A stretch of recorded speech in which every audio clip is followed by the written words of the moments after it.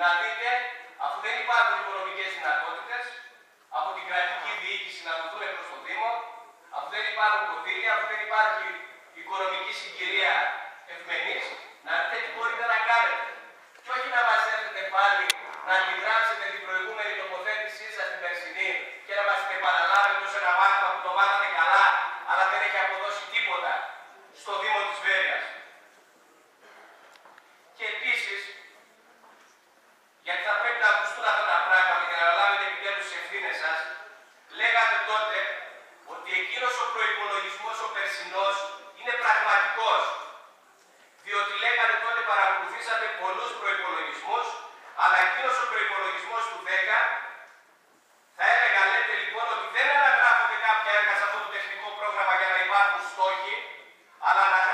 συγκεκριμένα έργα είτε είναι συνεχιζόμενα είτε πρόκειται να υλοποιηθούν ή να ξεκινήσουν να υλοποιούνται εντός του έτους.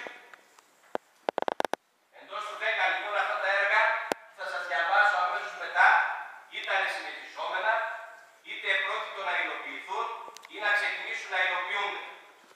Όπως είναι ας πούμε λέτε εσείς το κολυμβητήριο που άρχισε ήδη να ορθώνει ανάστημα το κτίριο.